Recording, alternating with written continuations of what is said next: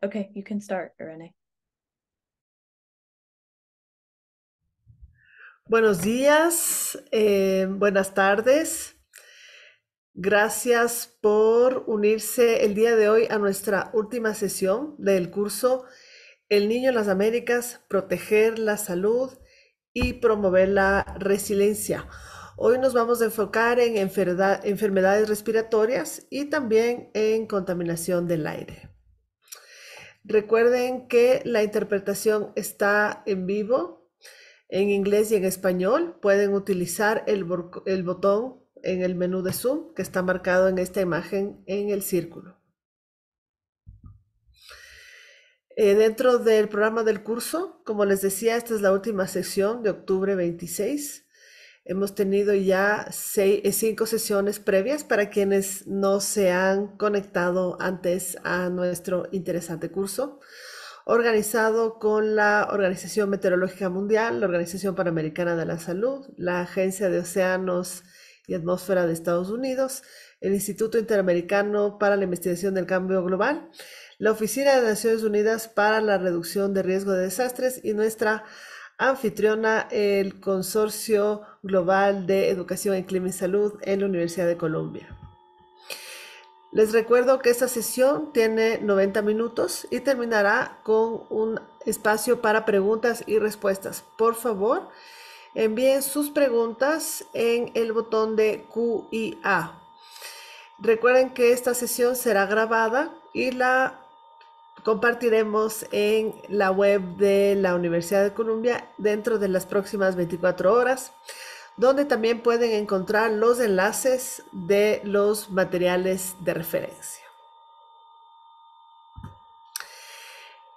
Recuerden también que en la página web del curso pueden encontrar las presentaciones por si ustedes van a necesitarlas en el otro idioma, ¿sí?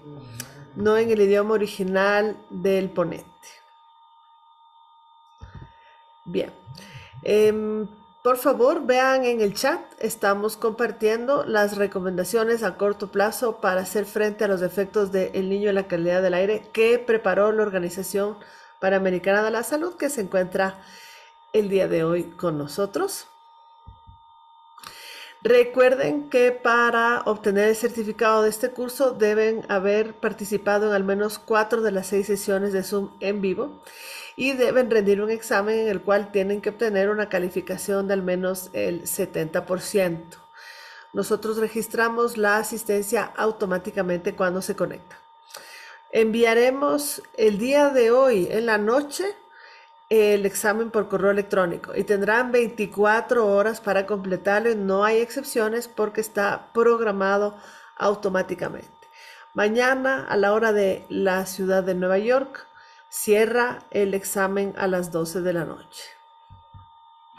El día de hoy tenemos el agrado de eh, tener con nosotros a Juan José Castillo. Em, Voy a leer su biografía. Él es ingeniero ambiental de la Universidad Nacional de Colombia con una maestría en gestión ambiental de la Universidad de los Andes.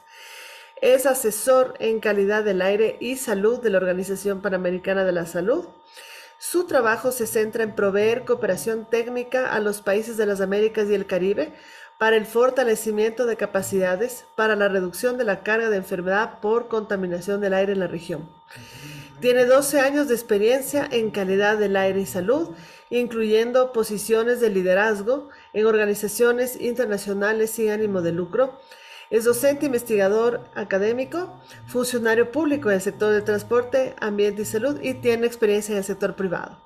También está con nosotros el doctor William Checkley, él es médico especializado en medicina intensiva, es experto en el diagnóstico y tratamiento de la insuficiencia respiratoria aguda y el síndrome de dificultad respiratoria aguda.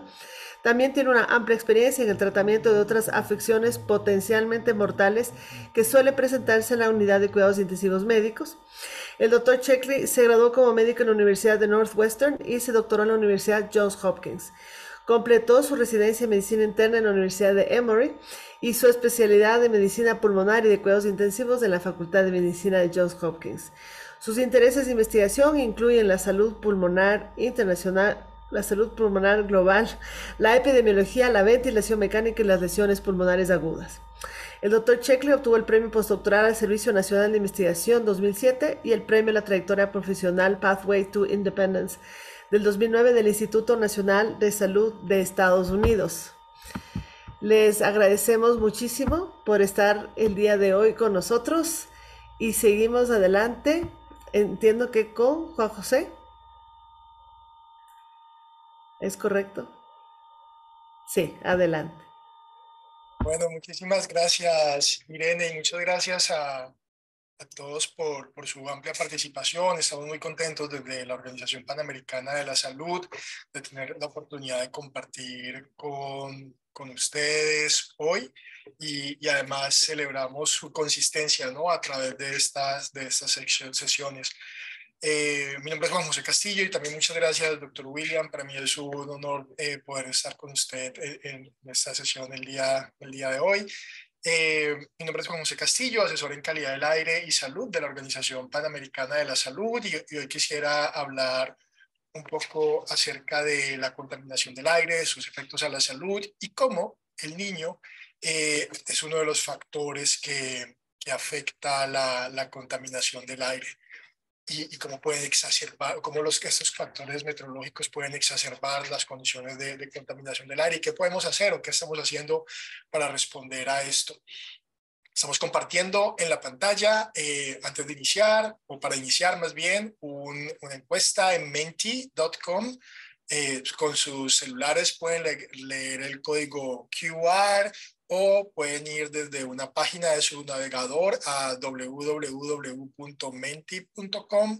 con el código 4290-1420. Vemos que ya algunas personas se han conectado y queremos entonces, y en el chat también estamos compartiendo la información para, para ingresar a menti.com y el código 4290 14, 14, 20. Perfecto.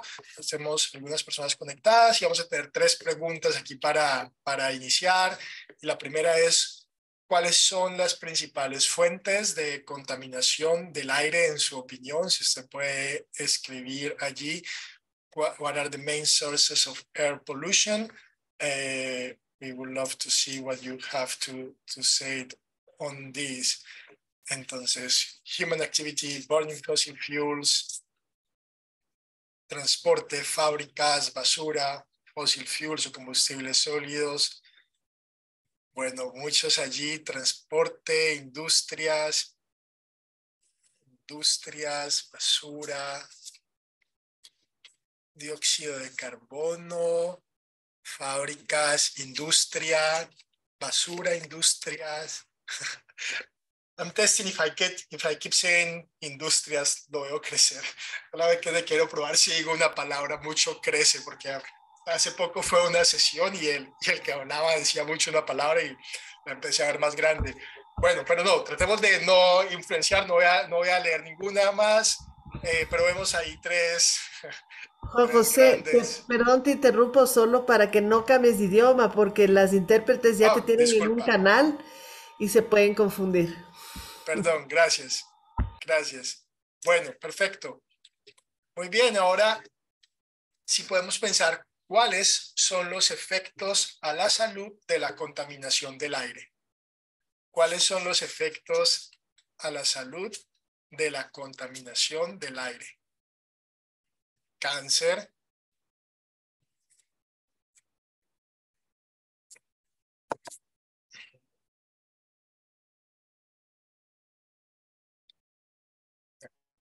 buena participación. Ahora no voy a decir ninguno para no influenciar ninguna de las respuestas, pero estamos viendo aquí eh, muchos de los efectos que efectivamente están asociados con la, con la contaminación del aire y algunos eh, muy, muy marcados. Y ahora vamos a ver un poco más acerca de esto en la, en la presentación.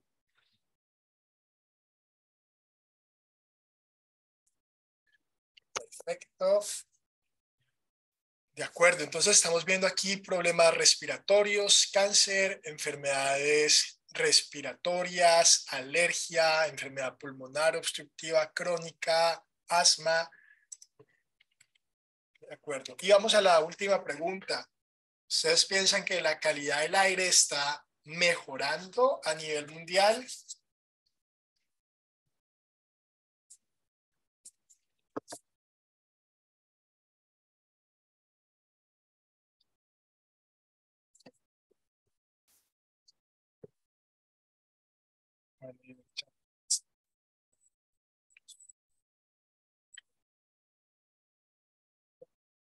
Muchas gracias. Bueno, vamos a tratar de responder algunas de estas preguntas durante, durante la sesión.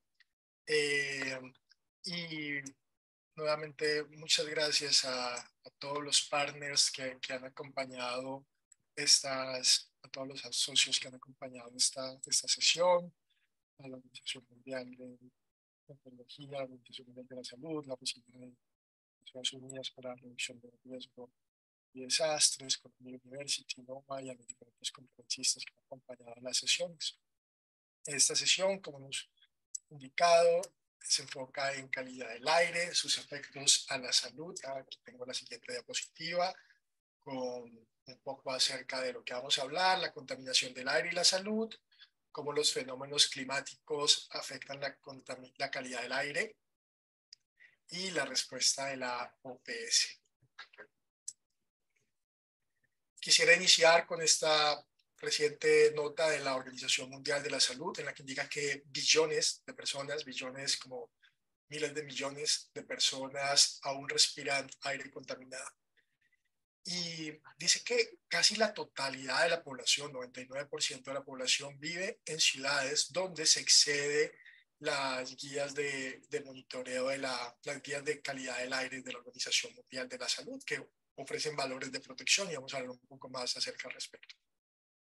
Sin embargo, también es importante resaltar que eso es un dato relativamente pequeño en el que solamente 6.000 ciudades monitorean calidad del aire, o sea que tenemos una gran parte del territorio que no tiene información de, de calidad del, del aire. ¿no? Normalmente en las grandes ciudades existe monitoreo de calidad del aire, pero cuando las ciudades son de 500 mil habitantes, sobre todo en América Latina y el Caribe, o menores de 500 mil habitantes, no suelen tener eh, monitoreo de, de, calidad del aire. Pero ciertamente la contaminación del aire es un problema global y cerca de 7 millones de muertes eh, son atribuibles a la contaminación del año cada, cada año. Y esta es una imagen de la, de la Organización Mundial de la Salud y podemos ver cómo gran parte de, dentro del Mar Rojo es mayor contaminación. Gran parte del problema de contaminación se enfoca en, en Asia, y, en África y el sudeste asiático. Sin embargo, la región de las Américas también está presentando niveles de contaminación que exceden las guías de la Organización Mundial de la Salud. Y eso es algo que quisiéramos resaltar, y es que la contaminación del aire es un desafío común para las Américas. No es solamente un problema global, sino que es un problema nuestro, de nuestras comunidades y que necesitamos resolver. Más de 370 mil muertes ocurren en la región cada año atribuibles a la contaminación del aire. La contaminación del aire es el principal riesgo ambiental para la salud en las Américas. Creo que tal vez cada sesión ha dicho algo parecido, pero tenemos datos que sugieren que que en general los factores ambientales están afectando la salud de las personas de forma importante.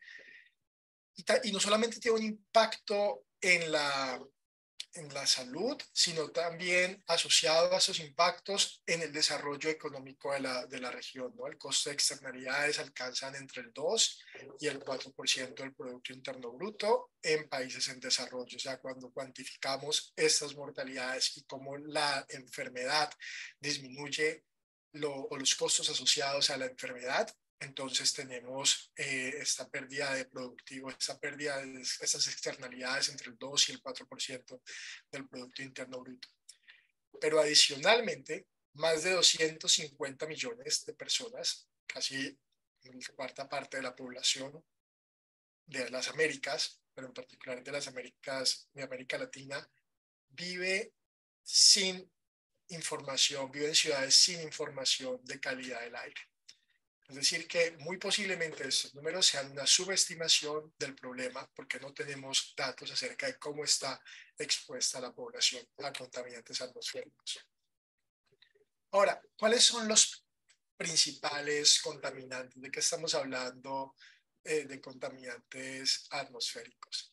Entonces, tenemos el material particulado o las partículas que tiene dos fracciones, el P el PM2.5 el PM2.5 y el PM10 eh, que es, es, la fracción inhalable de las partículas. Las partículas, cada vez que tenemos un proceso de combustión, se generan partículas u hollín, y estas partículas viajan por el aire y pueden ingresar a las vías respiratorias, particularmente esas partículas de PM10 y PM2.5 pueden ingresar al sistema respiratorio y las PM2.5 pueden llegar hasta los eh, alveolos respiratorios, eh, alveolos de los pulmones, pulmonares. Tenemos el, los óxidos de nitrógeno, que es un que son unos contaminantes, es un contaminante relacionado con la combustión de gas. Entonces, cuando tenemos combustión de gas natural o gas licuado del petróleo, tenemos la generación de óxido de, de, nitrógeno. Algunas también son fuentes biogénicas, ya lo vamos a ver un poco más.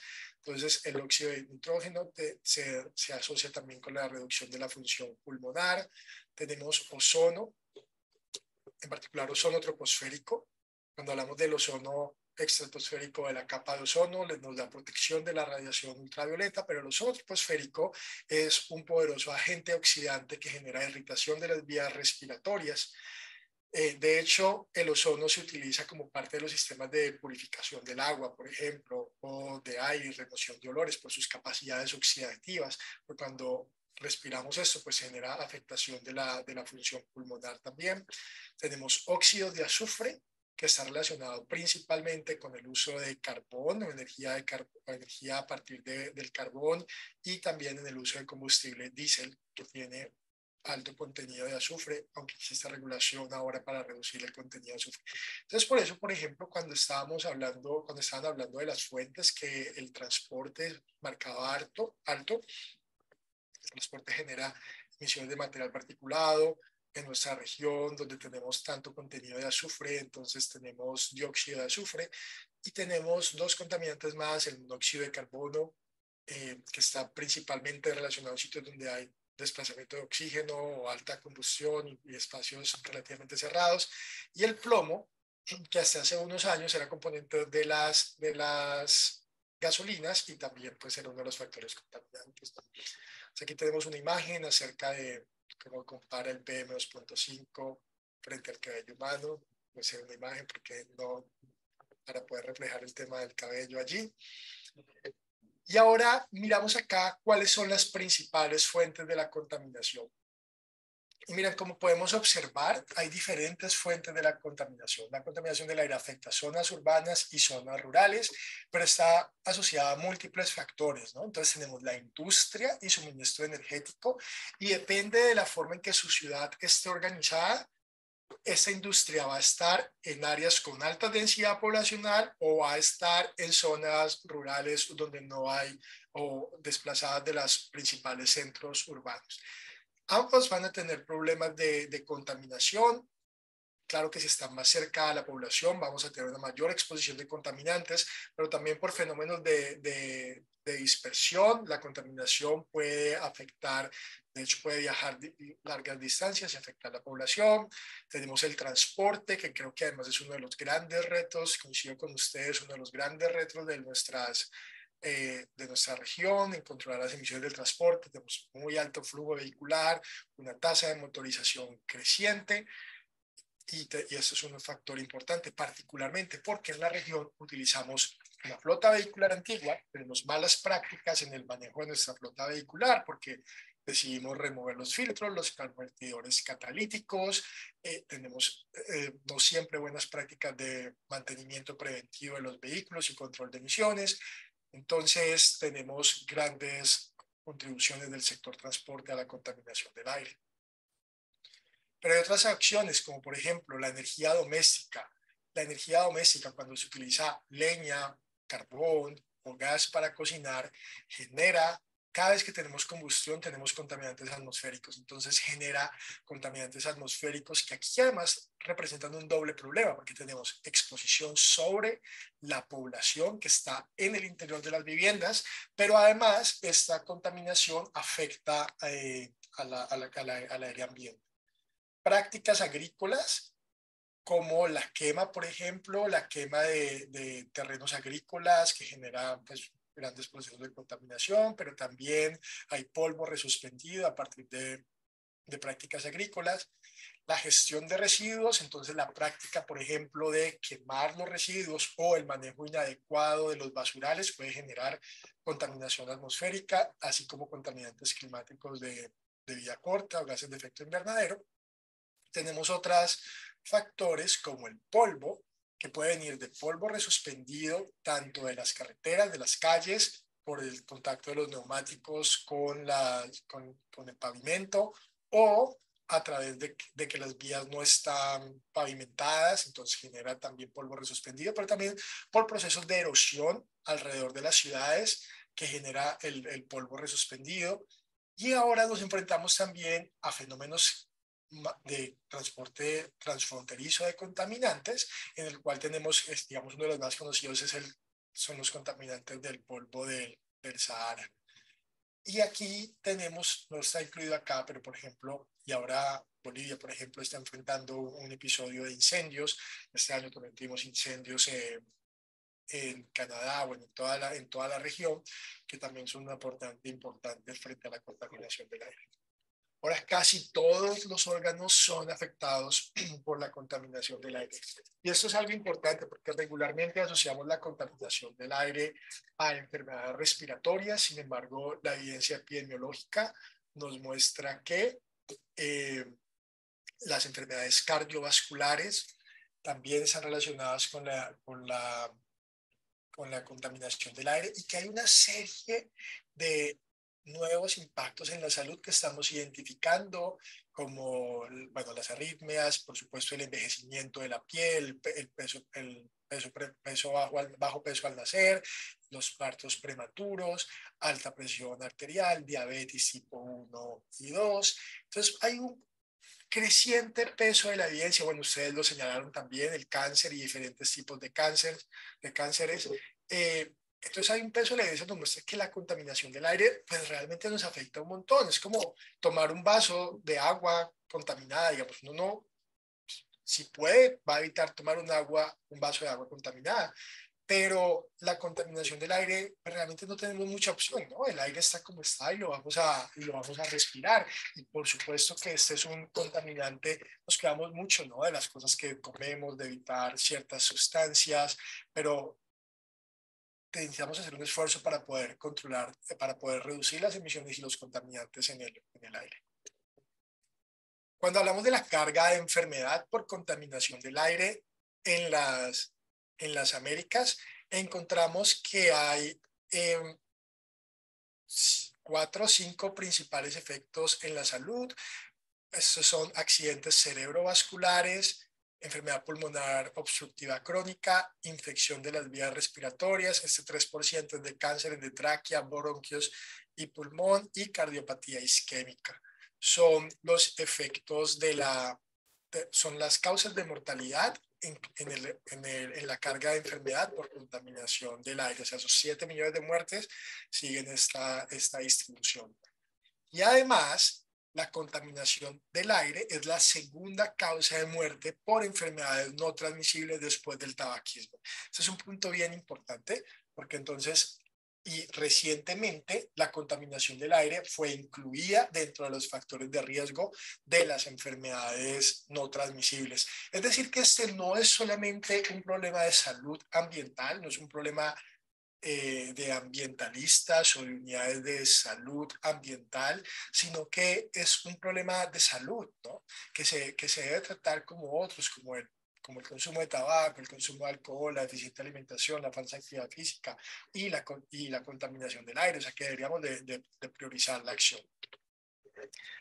Pero quisiéramos resaltar algo y es que la contaminación no significa lo mismo para todos. Entonces hablamos de 7 millones de muertes.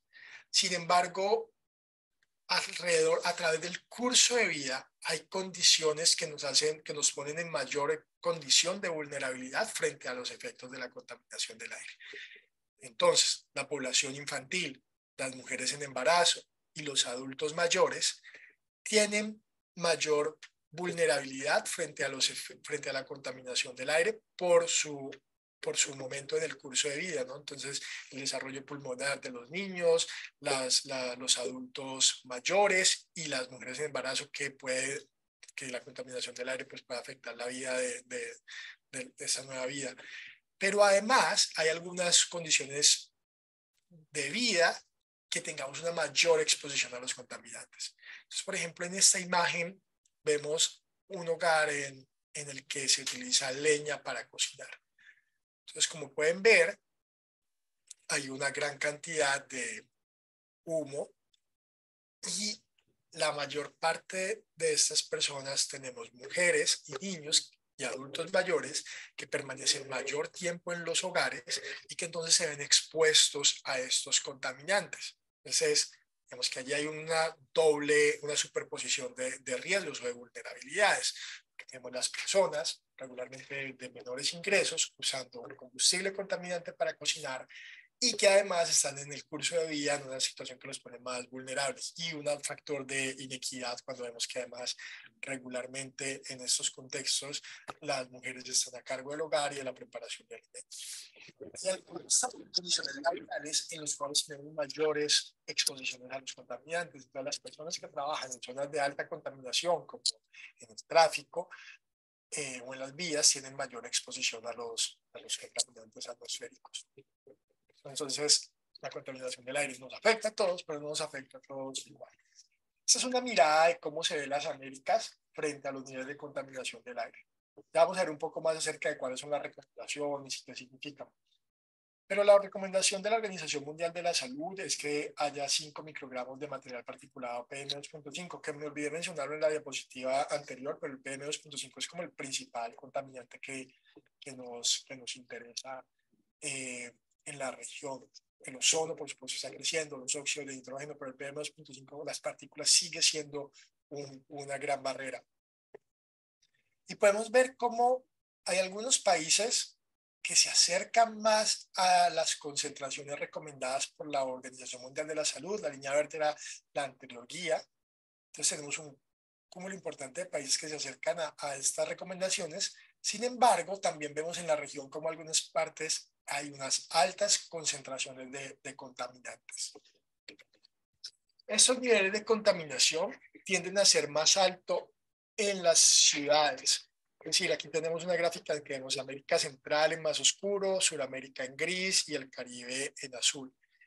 Y las ciudades, particularmente en América Central y en, en el Caribe, presentan mayores concentraciones que las zonas, rurales. Esto también tiene un filtro de, ponderado poblacional, promedio poblacional, entonces donde hay mayor población está, está ponderado también esta, esta mayor exposición. Pero en lo positivo, a medida que disminuye la contaminación atmosférica en la región de las Américas, también lo hace la tasa de mortalidad. Es decir, que en la medida que disminuimos la contaminación del aire, eh, disminuimos también la tasa de mortalidad asociada a, este factor de riesgo. Es un factor de riesgo importante, pero se puede modificar. Y de hecho, en, como parte de las respuestas a la, a la, a la pregunta inicial, la contaminación atmosférica ha disminuido de forma constante en la mayoría de las subregiones de América Latina y el Caribe. Es decir, que en los últimos años siguiendo estando muy lejos de las recomendaciones de la Organización Mundial de la Salud, en general estamos viendo una tendencia ligeramente a la baja en las concentraciones de PM2.5. Por supuesto que hay algunos fenómenos que ahora son más evidentes de contaminación. Hay dos cosas que ocurren. Por una parte tenemos estos grandes fenómenos como el polvo del Sahara o las contingencias atmosféricas que se ven en algunas de sus ciudades, o sobre todo los incendios que hemos sufrido un montón este año y que vamos a ver, que, bueno, que lo han discutido previamente, que el niño puede aumentar esta, esta, este, la frecuencia de los incendios, así como el cambio, así como el cambio climático, que exacerban estos picos de contaminación del aire, pero y que le da mucha mayor visibilidad. Y también hemos mejorado las capacidades de monitoreo. Entonces, antes no teníamos datos de monitoreo de la calidad del aire y no sabíamos efectivamente cómo estaba la, la, contaminación, mientras que ahora tenemos mayor visibilidad de esta, de esta información. Em, entonces, en este contexto, la Organización Mundial de la Salud estableció las directrices de calidad del aire, los cuales establecen objetivos de, para reducir la contaminación del aire. Y esos objetivos incluyen también metas provisionales que nos permiten pasar de los niveles actuales hasta los niveles de referencia recomendados por la Organización Mundial de la Salud. Y esto es importante porque no solamente se trata de poner una norma que diga, esta es, esta es la nueva norma que tenemos, sino de acompañar un proceso de mejora continua que nos permita transformar, ya que vemos que las fuentes son la energía uh, contaminante, que, nos, que la industria, el transporte, que nos permita planificar mejor las ciudades, establecer mejores, o los, el territorio, establecer mejores energías, mejores sistemas de control y verificación del cumplimiento para que las fuentes principales de emisión reduzca, se reduzcan y podamos tener niveles más saludables de calidad del aire. Ahora, las directrices de la calidad del aire, que está un promedio, dice que el valor guía de PM2.5 son 5 microgramos, la mayor, el promedio en la región es 32, como vimos en la diapositiva anterior, que tenemos una vía hacia adelante muy importante. Les invitamos a que puedan revisar también la información de calidad del aire de sus ciudades, porque eso también les puede ayudar a entender por qué algunas de estas enfermedades son constantes en la población o ustedes las están experimentando o alguien en su familia lo está experimentando y podamos tomar acción. Entonces, mira, las guías ofrecen tres niveles de, tres tipos de, de, recomendaciones. Niveles de referencia, que es el de máximo protección, máximo nivel de protección de la salud metas intermedias, que son estas aquí, de la 1 a la 4, siendo la 4, digamos, como pasos, ¿no? Para llegar a las guías, entonces de 1 a 4, eh, que nos ayuda a lograr los objetivos de calidad del aire y tenemos declaración de buenas prácticas en el manejo de ciertos tipos de material particulado. Les quiero hablar un poco acerca de esas recomendaciones de buenas prácticas. Entonces, la OMS llamó la atención acerca de las tormentas de arena y polvo, el carbono negro y las partículas ultrafinas. Entonces, como ustedes pueden ver, digamos, en el caso de las tormentas de arena y polvo, está relacionado con eh, fenómenos climáticos que pueden potencialmente ser afectados por, por, por, por, eventos como, como el niño. Las partículas ultrafinas y el carbono negro se liberan también por la quema de biomasa. Las partículas ultrafinas son como un material particulado más pequeño todavía, menor a un microgramo, que puede ingresar hasta el torrente, hasta el torrente sanguíneo. Y el carbono negro es un contaminante climático de vida corta. Muestra también la relación que existe entre la contaminación del aire y el cambio climático. Es decir, que podemos tener la oportunidad de tener una acción conjunta para mejorar calidad del aire, cambio climático y salud, que es como un elemento súper poderoso en esto. Ahora, ¿cómo afecta el niño la calidad, a la calidad del aire. Entonces aquí tenemos algunos artículos y recortes de prensa acerca de, del niño. Este acá de la derecha es algo de la NASA. El niño se relaciona con o se asocia a, a niveles récords de contaminación del aire. El niño se, eh, se relaciona con más incendios y contaminación del aire en Indonesia contaminación por polvo en la China, afectada por los fenómenos espaciales y temporales como el niño, y la contribución de emisiones locales y, transfronterizas a la calidad del aire en Hong Kong durante el, el niño y las ondas de calor. Entonces, el niño, se, vamos a ver un poco más acerca, creo que valdría la pena que paráramos en esta diapositiva para discutir, y es que acerca de los factores que, que influencian la calidad del aire. Entonces, la calidad del aire está, está afectada por las emisiones, digamos, ¿cierto? ¿Cuál es la fuente de contaminación? Pero también por las condiciones meteorológicas, ¿no?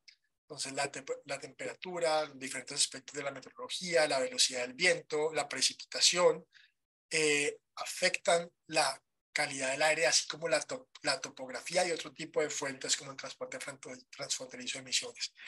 Entonces, podemos pensar en un concepto que llamamos cuencas atmosféricas, eh, que es básicamente que pensemos que la calidad del aire el aire sí se mueve por todo el mundo, pero también tiene algunos patrones específicos en el territorio que eh, en donde tenemos el ciclo de aire allí o, unos cuerpos de aire en el que se recogen las emisiones y en el cual las condiciones atmosféricas pueden exacerbar estas, esta, estas concentraciones de contaminantes. Entonces, cuando hay baja estabilidad atmosférica y el aire casi no se mueve, entonces el aire queda allí atrapado y las emisiones contaminantes no tienen para dónde dispersarse y afecta más la, la contaminación. Pero también la temperatura es un factor súper importante. Entonces, en la medida que aumentan la temperatura, contaminantes como los óxidos de nitrógeno y los óxidos de azufre reaccionan para formar ozono. Entonces, cuando tenemos estas olas de calor particular, ese, ese gráfico muestra cómo, digamos, en diferentes zonas de la, de la ciudad, o del territorio hay diferentes temperaturas. Entonces, en los centros urbanos, en los centros de las, de las ciudades, tenemos mayores temperaturas porque tenemos normalmente muchos edificios, pocas zonas verdes, eh, mucho asfalto, y esto hace que haya una acumulación de calor. Allí, con esta mayor temperatura, se puede promover la generación de contaminantes como el ozono y también material particulado secundario. Y es básicamente estas, estas estos compuestos químicos reaccionando para aglomerarse en pequeños cúmulos de material particulado.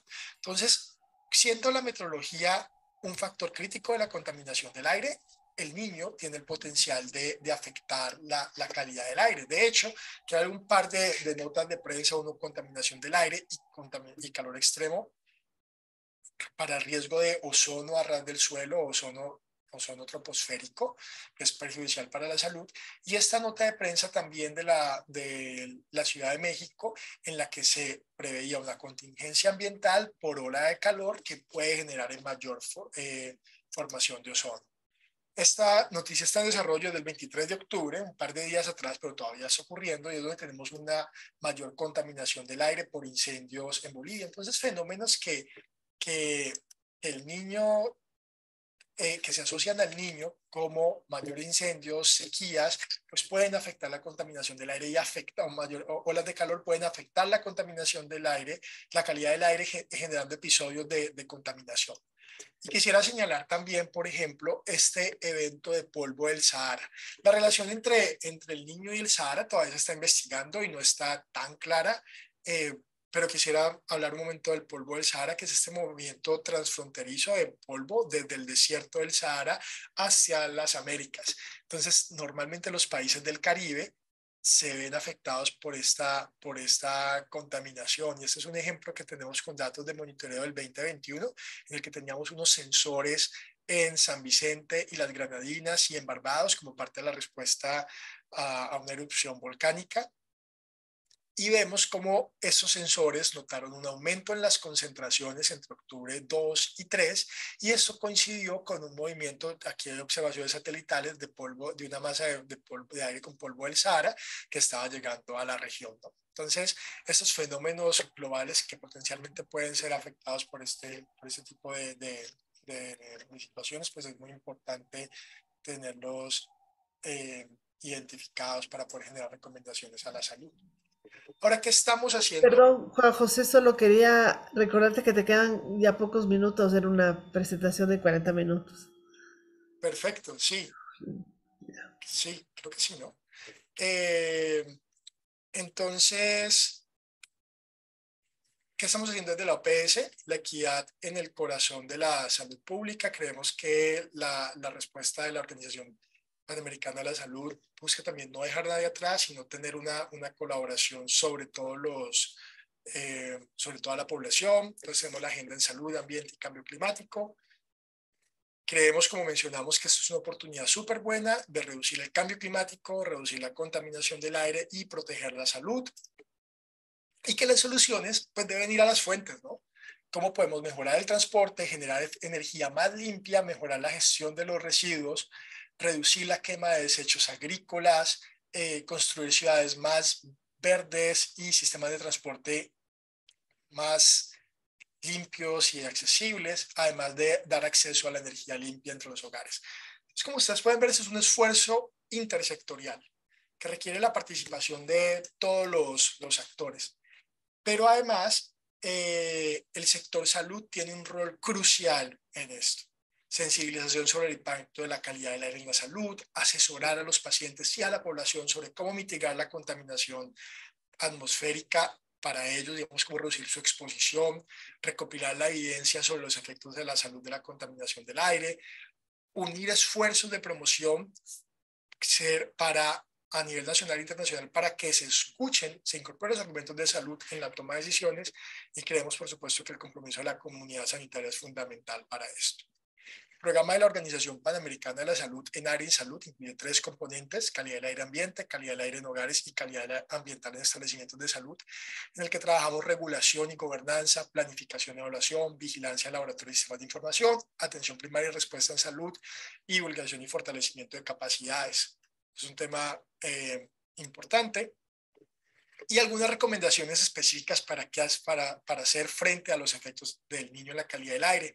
Y es que desarrollemos o que invertamos en el desarrollo de sistemas de alerta temprana y vigilancia, en fortalecer la respuesta a emergencia, en el fortalecimiento de la prestación de servicios de salud, así como en la investigación, capacitación y comunicación y la coordinación intersectorial para la acción a todos los niveles.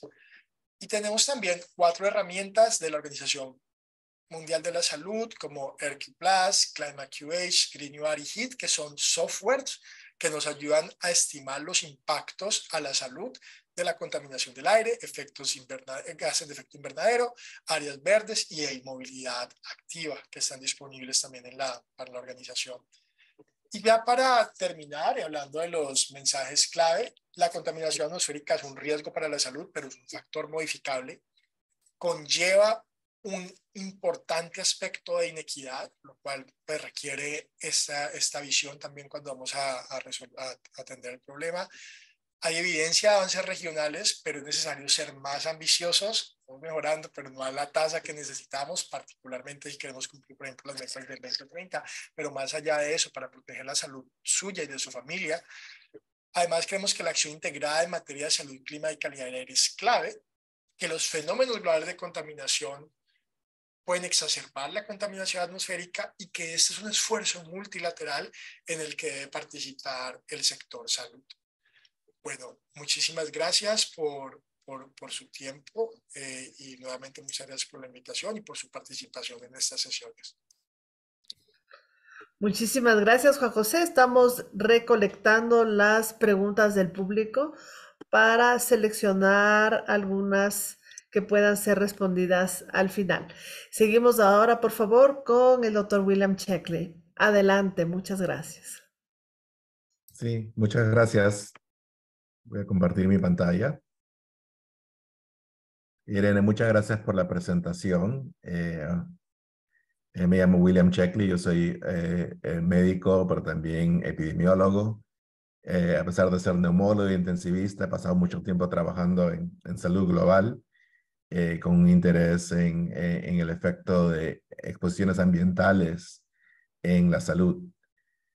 hoy voy a enfocarme en un tema específico eh, y hablar de un caso práctico en el Perú, eh, resumir eh, unas cuantas de nuestras investigaciones en términos de variabilidad climática y los, y los efectos de la variabilidad climática en la salud humana.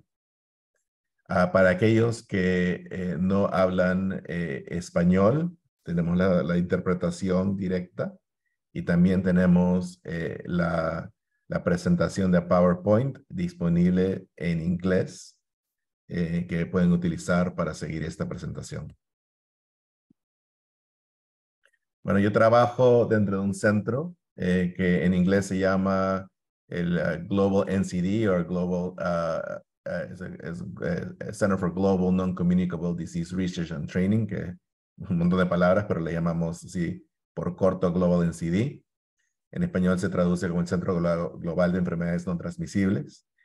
Eh, y trabajamos ya en varias partes del mundo, con, varios años de experiencia trabajando en Perú. Y nuestra misión es realizar investigación y capacitación de alta calidad para la prevención y control de enfermedades no transmisibles. Eh, y también colaborar y trabajar cercanamente con nuestras, eh, nuestros colaboradores internacionales y, crear capacidad local en investigación.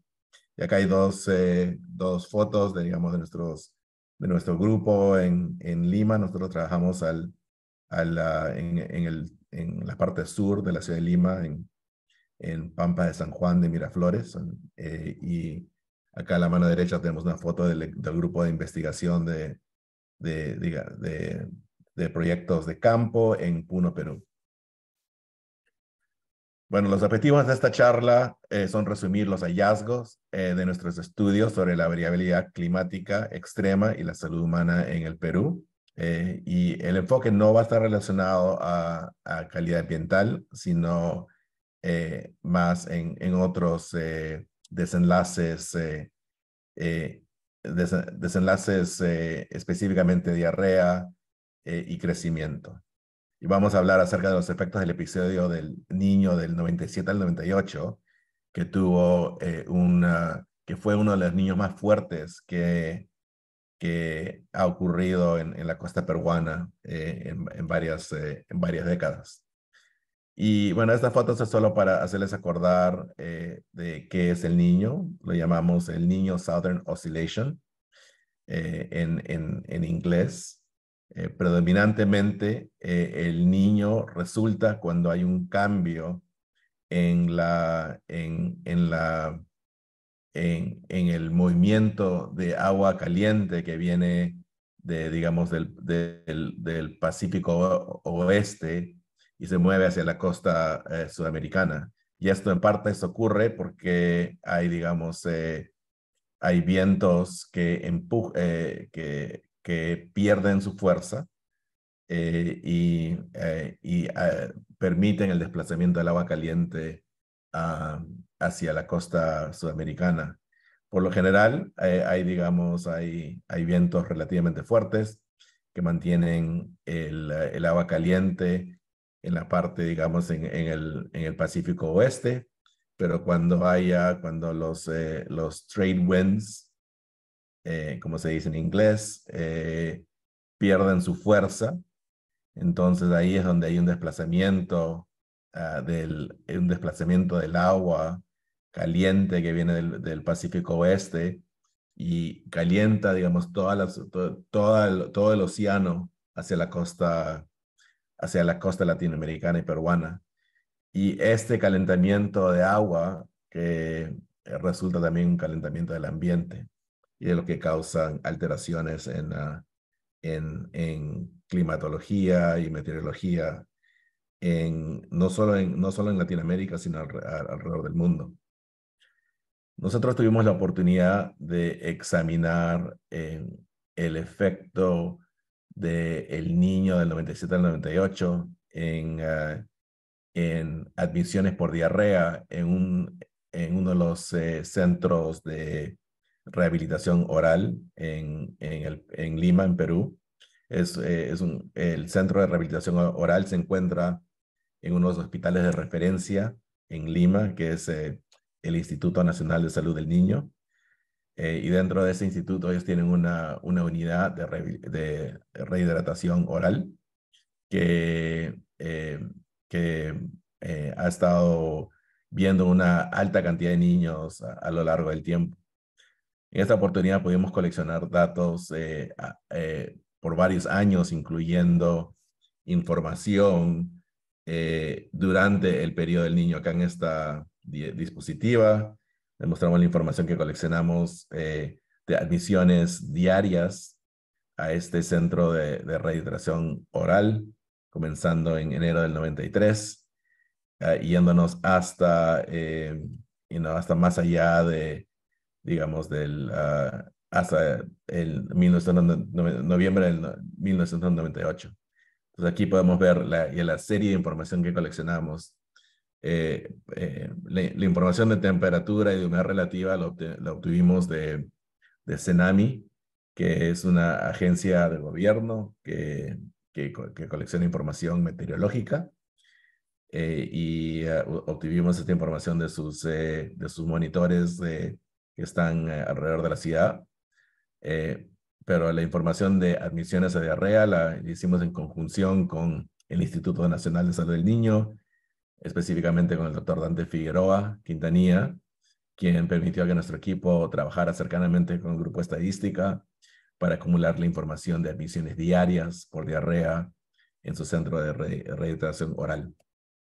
Esto nos permitió entonces de ahí hacer y ver relaciones entre eh, temperatura de ambiente y, eh, y, admisiones por diarrea a este centro de rehidratación oral.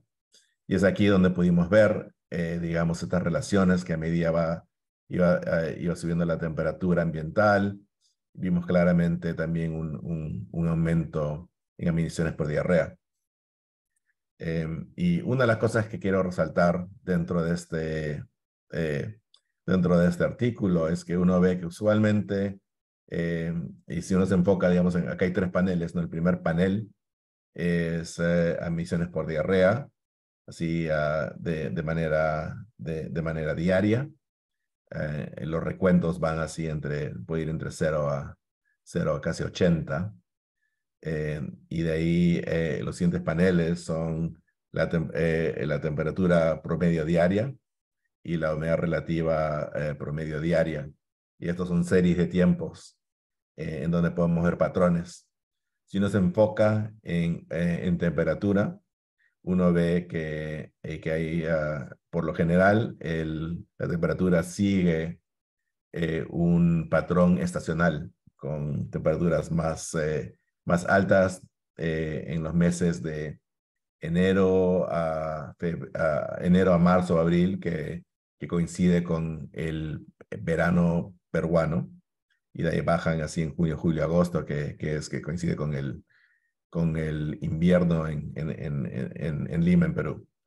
Eh, y uno puede ver que esta misma estacionalidad se ve en, los, en las emisiones por diarrea, que a medida que, que eh, se acerca el, el, verano peruano va, va habiendo un aumento en los casos por diarrea.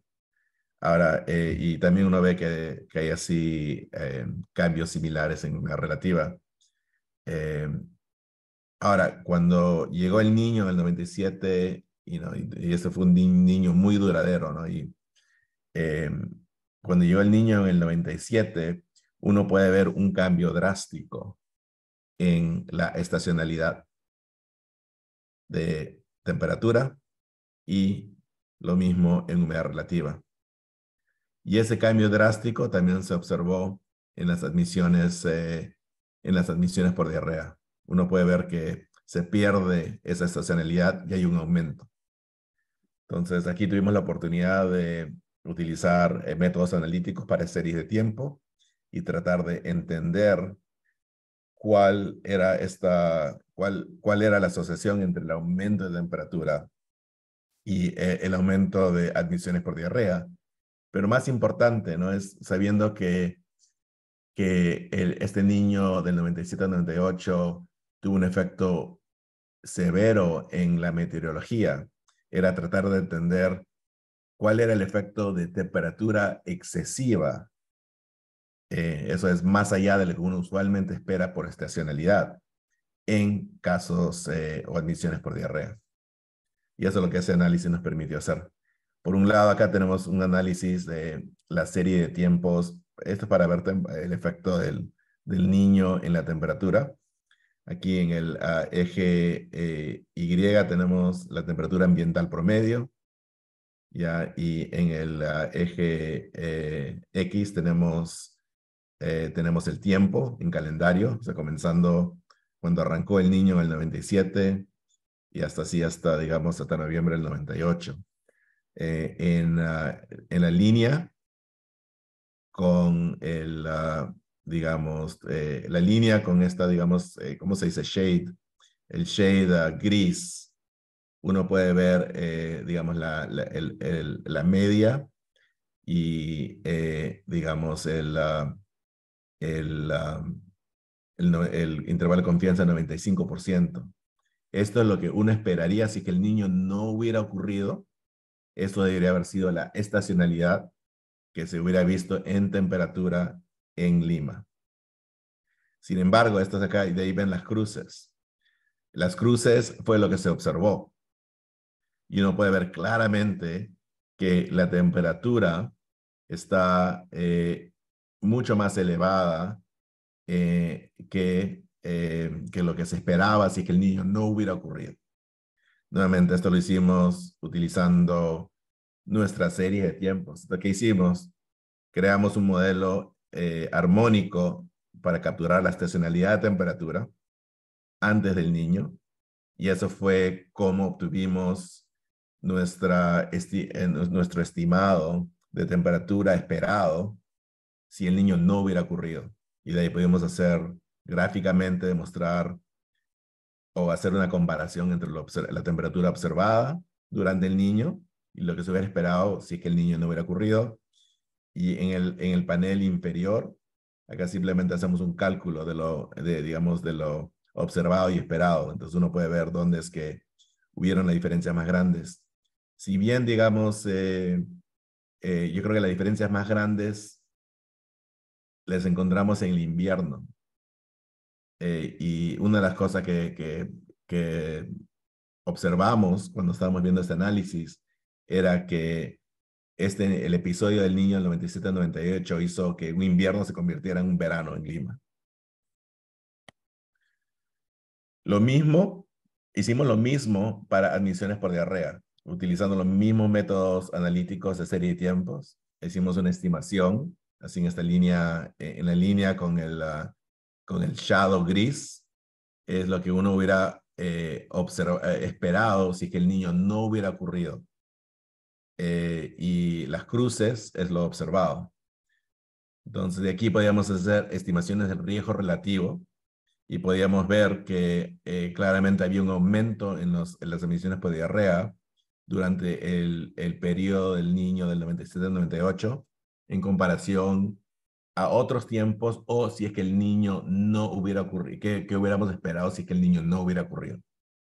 Entonces hay así aumentos, eh, por lo general en, en, en, en promedio no vemos, el, el aumento fue casi el 50%, eh, y digamos en, durante los eh, meses de invierno un aumento aproximadamente del, del, del 100%, o sea, un riesgo relativo casi de 2. Ahora, sí, hubieron días en donde ese aumento era mucho más significativo y podía hasta triplicar el, el riesgo en alguno, de los, en alguno de los periodos o días específicos. De ahí lo que podíamos hacer es, una vez que ya teníamos la información de qué era observado y qué era esperado, podríamos tratar de entender si es que lo que se, lo que se veía eh, era más allá de, digamos, de la variabilidad eh, estacional de temperatura, ¿qué es lo que hacemos en este gráfico? En este gráfico estamos haciendo, eh, viendo tasas de casos observados o esperados en el eje Y y, temperatura observada versus esperada en el eje X.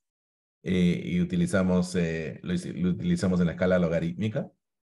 Uno puede ver que antes del niño, obviamente, si no hay, digamos, una temperatura excesiva, no llevaba más, no llevaba más casos de una manera eh, em, de, con una pendiente muy fuerte. Sin embargo, cuando llegó el niño, el, el, el, el, aumento excesivo de temperatura era lo que, era el, era lo que eh, empujaba que haya un aumento excesivo en casos.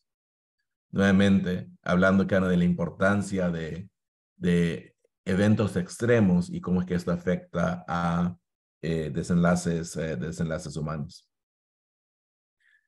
Al mismo tiempo, tuvimos la oportunidad de también examinar eh, patógenos específicos a, nivel, ah, a nivel ah, Lima. Eh, si, si bien se acuerdan, Lima tuvo una, eh, epidemia, una epidemia severa de cólera en el 91-92. Ah, y creo que tomó como unos 3, 4 años en controlarse. Y de ahí de ahí como que ya pensábamos que se había, que se había controlado eh, el cólera. Pero llegó el niño del 97 y 98 y comenzaron a haber brotes eh, de cólera en la ciudad. Entonces tuvimos la oportunidad de nuevamente examinar el, eh, examinar, digamos, el, el, aumento de temperatura durante el niño y cómo se relacionaban con los casos de cólera. Nuevamente viendo que así el exceso de temperatura de, que fue causada por el niño eh, llegó a, digamos, estaba asociado con ese aumento de casos de cólera, que desde el, como del 94, 95, 96 ya no se veían casos, de repente hubo un arranque eh, de, casos en, así en, en enero del, del 98. Y eso fue parte de un estudio donde habíamos hecho ya, habíamos creado una red de vigilancia para, para, para detectar eh, brotes de cólera en la ciudad. Habíamos, eh, habíamos puesto ya en varios, habíamos ido a varios sitios o varias líneas de desagüe de Lima y estábamos haciendo muestreos de agua en, de, desagüe en varias, en, en varias zonas como dentro de una red para tratar de identificar si encontrábamos vibriofagos que, eh, que específicos a vibrio cólera. Eh, esos, son, esos son virus que atacan a, la bacteria vibrio cólera y la idea es que si es que hubiera un aumento de casos de vibrio cólera en la ciudad eh, y, y, que se vería, digamos, en el desagüe, también debería haber un aumento en los vibriofagos. Y dado que los que, que, que, que, que eh, la presencia de vibrofagos tiende a ser a varios órdenes de magnitud, mucho más grandes que la de cólera, entonces sería algo bueno para detectar en desagüe. Entonces esto lo, utilizamos, también vimos así que, que, el aumento de vibrofagos en, los, en las aguas de desagüe eh, es más, eh, podía encontrarse casi tres o cuatro semanas antes de llegar al pico de casos de cólera. Y nuevamente que estaba viéndolo en relación al aumento de temperatura ambiental. Eso es en términos de, de admisiones por diarrea y, digamos, de casos así documentados, reportados de cólera. Eh, nosotros tuvimos la oportunidad eh, y, por parte la suerte que, que eh, cuando estábamos haciendo un estudio longitudinal de, de salud de niños, y en particular estábamos haciendo vigilancia de diarrea en una cohorte, en, en, dos cohortes de niños. teníamos una cohorte de niños menores de dos años y de ahí otra cohorte que era de 2 para 12 años de edad en, en la zona periurbana de, de San Juan, de, de, una zona periurbana de San Juan de Miraflores. Eh, y estábamos yendo eh, de manera diaria a las casas a hacer vigilancia eh, sobre la enfermedad diarreica. Encontramos que, digamos, que la incidencia de diarrea aumentó casi un 55% eh, durante el niño en comparación a periodos antes del niño durante los meses de primavera. Nuevamente, eh, indicando que, eh, digamos, y, y, utilizando análisis, métodos de análisis longitudinales para, para tratar de comparar el periodo antes del niño con el periodo durante el episodio del niño 97-98. Eh, y encontramos también que, que el aumento de, de, riesgo de diarrea eh, durante la primavera eh, era similar así en, en, niños de varios grupos de edades, sea de, de, niño, de, de, de, niños menores de, de 12 meses, de, de infantes, con un, con un aumento de riesgo relativo casi del 1.7, y pero también se vio en, en, niños mayores de 5 años, ¿no? que había casi un, casi un doblado del riesgo relativo en, en, del riesgo de diarrea. Y, en estos estudios, estas cohortes, estábamos también haciendo evaluaciones de enteropágenos, eh, enteropatógenos parasíticos, en particular viendo Cryptosporidium y viendo Ciclospora, eh, y también encontramos que había un aumento importante en eh, el hallazgo de enteropatógenos parasíticos durante el niño, en particular Cryptosporidium y, y Ciclospora. Bueno, entonces acá eh, de esos trabajos que hicimos, vimos que hay un vínculo entre el episodio del, del niño del 97 98, tanto en el hospital como en la comunidad. que indica, digamos, usualmente uno piensa al hospital de, eh, digamos, admisiones hospitalarias o referencias a un centro de rehidratación oral como casos severos.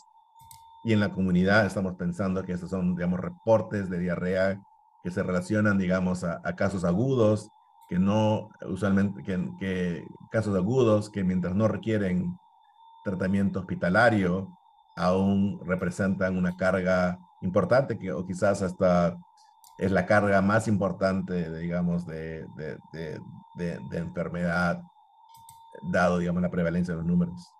Vimos también que la carga ah, patógena, patógena era afectada, vimos más casos de cólera, de virocólera, casos por criptosporidium y por ciclospora. Y esto nos ayuda a pensar que el niño puede ser un modelo natural para estudiar los efectos de la variabilidad climática extrema en la salud. Perdón, eh, solo quería decirte que ya se, está, se acabó el tiempo, pero sí, ya puedes ir terminando. Gracias. Sí, me quedan, me quedan, si tengo dos, tres minutitos, puedo terminar ah, con esto. Yo creo que no tengo muchos más slides, eh, pero eh, quería hablar acerca de este otro estudio que hicimos en el norte del Perú, en donde, como sabemos, si, si bien eh, tenemos los efectos del niño en, en Lima, en realidad eh, el norte de Perú en particular, en Tumbes, eh, fue mucho más afectado. Entonces, estábamos, llegamos a hacer varias entrevistas cualitativas en la, zona de Tumbes y vimos que mucha gente tenía memorias muy vívidas del, tiempo del 97 al 98 en, términos de pérdidas, desplazamiento, eh, inundaciones. Entonces dijimos, ¿qué tal si hacemos un estudio retrospectivo, un, un estudio retrospectivo, crear una corte retrospectiva? En el 2008-2009 fuimos a visitar, a, digamos, a, cercano a 2.000 niños que nacieron en un, todo un rango de edades, entre el 91 y 2001, si cubriendo también la época del, de, del 97-98. Y la varia, eh, el desenlace primario acá era el puntaje de estatura para, por la edad, que era que en inglés se dice Height for Age score que está estandarizado de acuerdo a los valores de la OMS. Este estudio lo hicimos a lo largo del río, eh, digamos, del río Tumbes, varias comunidades locales. Aquí tenemos un mapa en donde estuvimos en, en Tumbes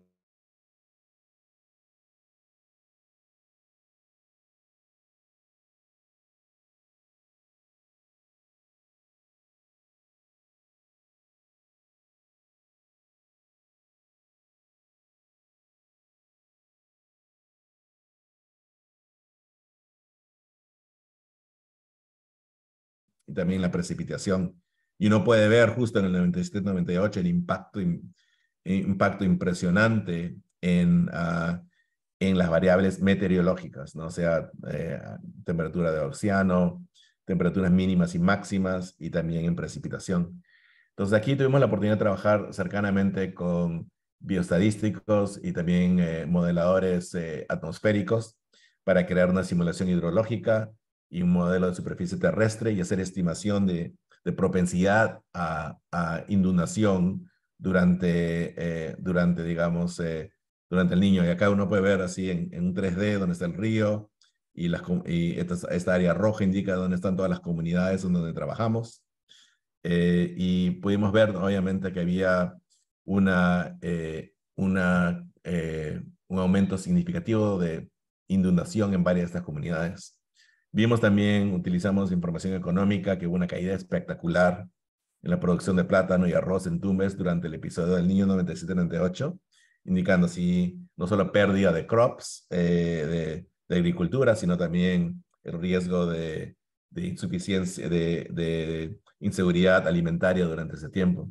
Entonces, ¿qué hicimos? Hicimos un análisis de serie de tiempos, queríamos relacionar cómo es que eh, eh, eh, digamos, relacionar el, el, efecto del niño eh, del 97-98 en, el, en, la, en la talla de los, en la talla de los niños, de acuerdo a cuándo habían nacido.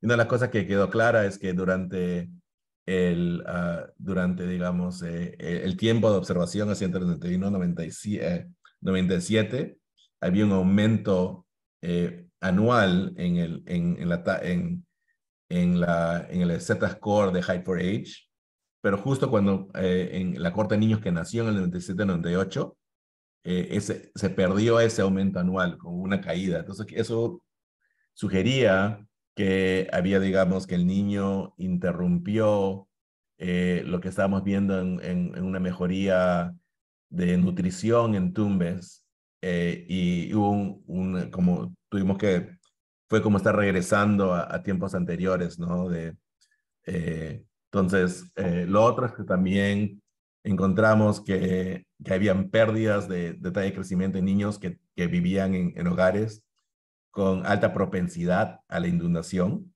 mm, y eso lo decimos con, utilizamos métodos de, de, propensity score, como se dice en inglés. Si era mayor del 7%, ya entonces ya había una pérdida bien grande de, la, del height for HC score. Eh, y encontramos también que había los niños que nacidos después del niño tenían menos masa magra eh, comparado con años previos, mientras que la masa grasa no se había afectada.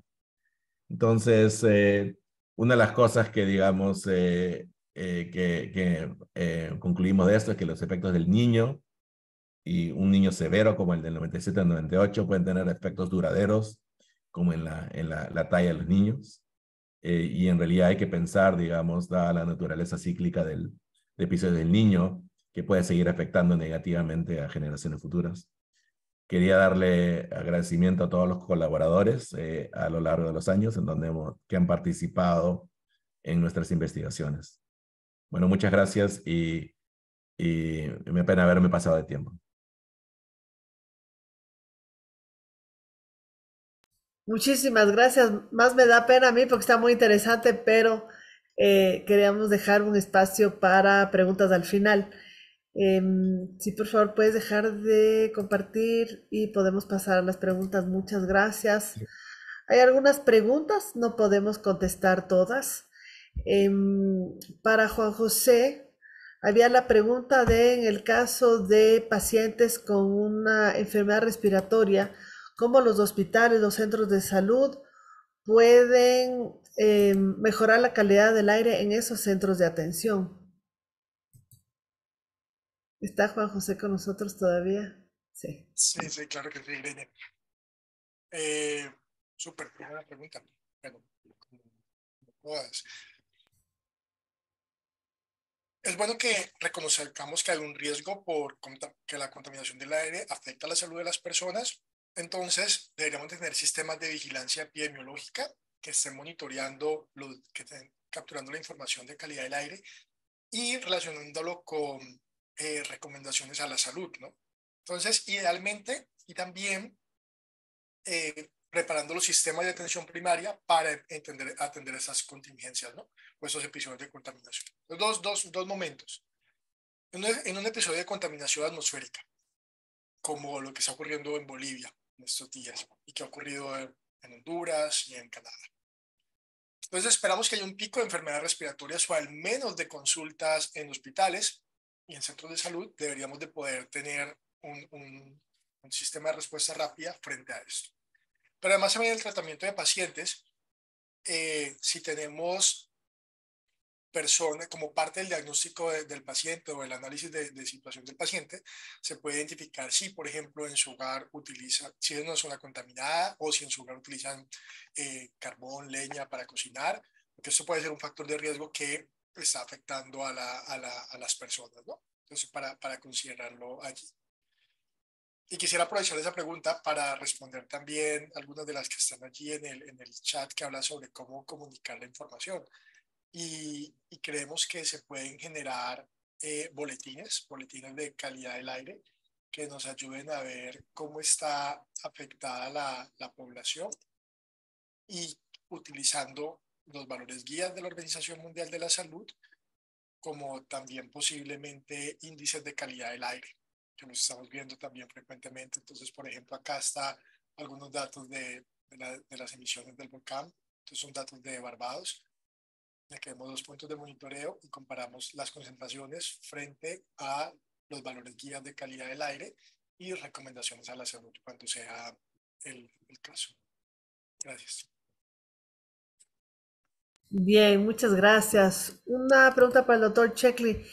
Em, ¿Qué medidas preventivas se recomiendan a la población para evitar la diarrea? Entendemos que hay una correlación están las cifras, hay un potencial para producir alertas tempranas, pero el sector de salud en sí, que no produce la alerta temprana, que no está haciendo la vigilancia epidemiológica, ¿qué puede decir a los pacientes?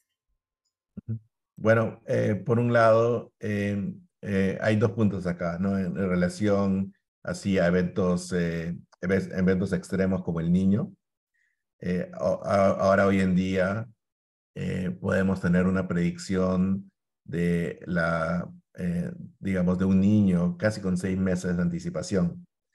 Entonces ahí es donde, donde nuestros gobiernos, sea tanto a nivel nacional o a nivel regional, eh, pueden aumentar los mensajes eh, acerca de, digamos, de, de eh, mensajes de prevención de diarrea. Obviamente esto incluye, como bien saben, higiene, incluye calidad de agua, incluye, digamos, em,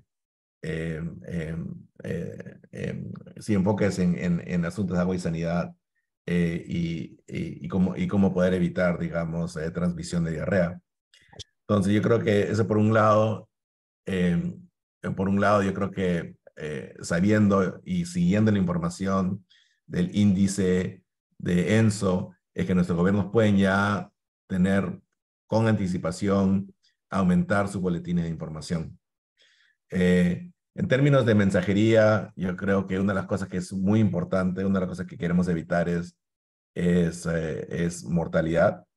Todo acá es información acerca del uso de rehidratación oral, eh, sea en casa o eh, poder decir dónde están los centros de rehidratación oral locales para llevar a niños que se encuentran significativamente deshidratados y obviamente, también em, eh, eh, utilizar ese espacio y tiempo para dar notificaciones y mensajes eh, de salud pública para la prevención de diarrea en general. Muchas gracias. Otra pregunta para Juan José. ¿Hay alguna lista, ranking, forma de que los países, aquí dice específicamente América Central, pero pensaría en países de la región que se sepa dónde están los más altos índices de contaminación para que los eh, centros de salud, los distritos de salud puedan eh, tener suficiente información justamente para producir esos, esos mensajes, esas eh, recomendaciones para la población. Irene, tuve un problema de conexión y no te escuché la mitad. Primera la pregunta. Sí, que si hay un ranking, una lista, un mapa de los países, la zona, las ciudades que tengan más altos índices de contaminación de aire, que puedan conocer los departamentos de salud o los centros de salud para estar alertas y, saber eh, qué medidas tomar para proteger a la población. Mm. Sí, sí, no, mira, y eso es, es un trabajo conjunto. Entonces queremos que el sector salud y el sector ambiente puedan tener eh, espacios de coordinación para, para enfrentar estos, estos episodios. Que haya además una adecuada comunicación de la información, porque hay diferentes formas en que se transmiten esos datos, como concentraciones o como índices de calidad del aire. Entonces, en general, eh, la recomendación es que existan planes de gestión integrados de calidad del aire, cambio climático y salud, que atiendan además si tenemos eh, conocimiento de estos episodios eh, temporales como, como, el, como el niño, que eso pueda estar mapeado dentro de estos mapas y que hay un espacio de coordinación entre salud y ambiente. Las capacidades de monitoreo cambian, tenemos algunos, tenemos la base de datos de calidad del aire de la Organización Mundial de la Salud y el Observatorio Global de Calidad del Aire de la, el Observatorio Global de Salud de la Organización Mundial de la Salud, que tiene un componente de aire más histórico. En tiempo real hay algunas plataformas en línea que recogen lo que los países están haciendo el monitoreo, que están reportándose en línea, entonces se puede verificar. Pero la verdad es que, eh, y recogiendo una pregunta que está en el chat acerca de la, en el, el Q&A, acerca de, de, de, cómo la comunidad también se puede involucrar, es, es muy importante revisar qué hay a nivel local, porque cambia y la comunidad también puede tener sensores o fuentes de información y que haya como esta abogacía para que se puedan utilizar estos datos. Desde la OPS apoyamos los procesos de los países, trabajamos en todos los países de la región en estos temas y hay, y, hay diferentes niveles de contaminación y también diferentes niveles de, de gestión al respecto. Irene, yo puedo añadir algo a lo que ha dicho eh, eh, Juan José. Eh, bueno, nosotros tuvimos la oportunidad también de, de, de, investigar la disponibilidad de información a nivel global eh, de monitores de, de, calidad de aire. Eh, en Latinoamérica aún hay un vacío eh, y yo creo que es importante trabajar no solo con, con, digamos, con gobiernos locales, sino también con grupos multisectoriales para en realidad tratar de apoyar y aumentar el número de, de, monitores de calidad ambiental. una de las cosas que, que, hemos visto al menos a nivel Perú es que hay departamentos que no tienen monitores, que no se sabe de la calidad de aire. Eh, nosotros eh, tenemos la oportunidad ahora de estar trabajando con eh, la Universidad Peruana Cayetano Heredia y, ah, digamos, y, y, otros colegas de la Universidad de Emory, con nuestra institución, con, mediante un programa financiado por los, por los National Institutes of Health de los Estados Unidos para instalar monitores eh, de bajo costo a nivel Perú en todos los departamentos. Justo estamos trabajando en eso.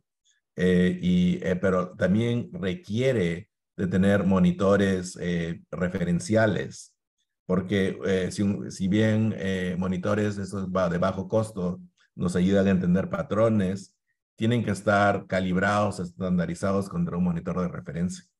Entonces, justo estamos trabajando en eso, pero aquí la clave es esa, ¿no? La necesidad de tener que poner más monitores de referencia a nivel, a nivel de nuestros países para poder mejor entender la carga de polución ambiental y ver cómo intervenir. Y eso es una parte, y creo que, que digamos, como, eh, como investigadores, eh, cómo estar abogando a los, a los gobiernos a tener, a, a, tener digamos, eh, redes así de, de, de investigación de calidad de aire. Ahora, como he dicho, hay monitores de, de, bajo costo y también eh, se puede utilizar información satelital, pero siempre va a requerir de monitores referenciales para poder hacer las calibraciones correctas. Muchísimas gracias, qué interesante eh, lo que dices y además eh, que resaltes la ciencia ciudadana. En el Centro Regional de Investigación del Fenómeno del Niño trabaja, tiene experiencias de ciencia ciudadana, si es que alguien del público está interesado. Bien, ya vamos terminando. Tenemos una pregunta para, para el doctor Checkley, pero bueno, también puede Juan José participar. Em, ustedes hicieron em, el análisis climático y de enfermedades, em, pero también incluyeron tal vez datos socioeconómicos, pregunta alguien del público.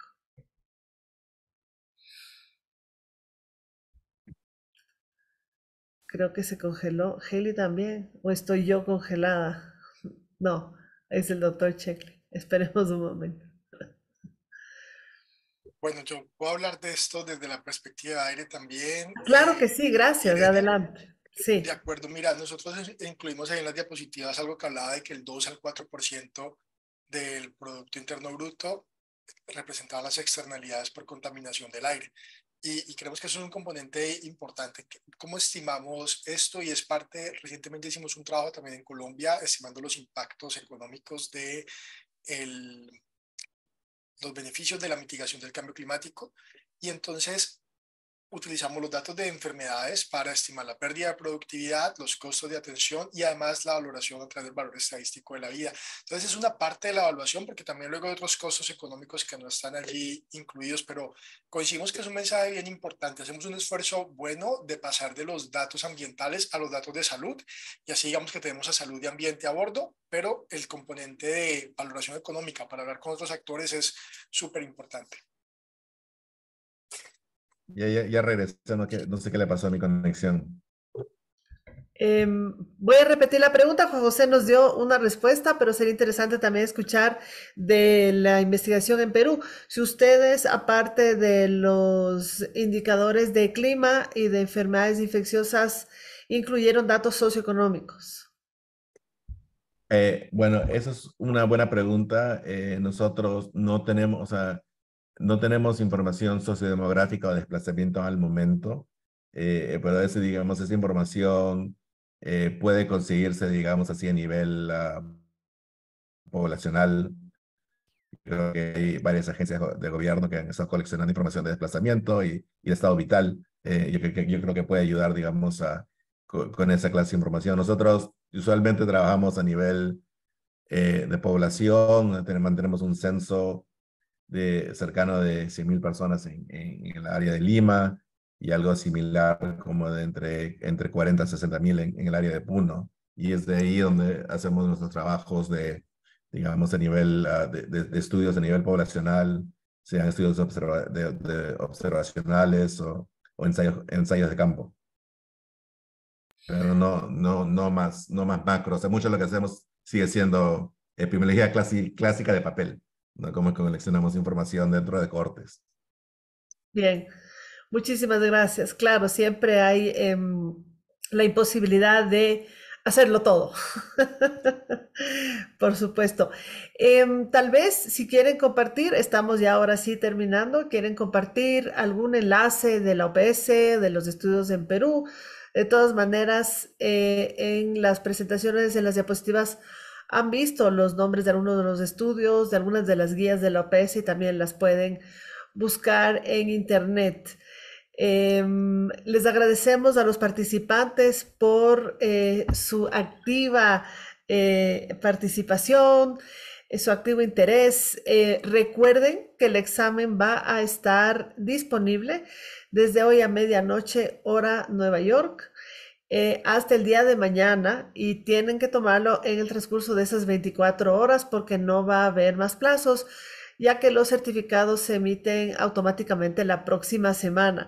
Queremos agradecer mucho a las intérpretes que nos acompañaron el día de hoy y que nos han, acompañado durante todo el curso y han garantizado em, que nuestras diferentes audiencias puedan acceder a, estas presentaciones.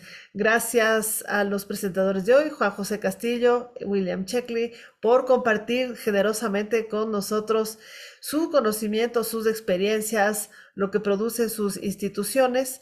No sé si Haley de parte del consorcio tenga alguna otra acotación, pero un agradecimiento muy grande por habernos acompañado todas estas semanas en este curso.